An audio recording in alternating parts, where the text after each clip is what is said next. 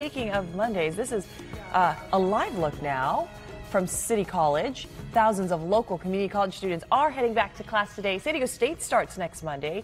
USD and UC San Diego start next month. So a couple more weeks to get that last surf in. Hey, Meghan Markle fans, you have a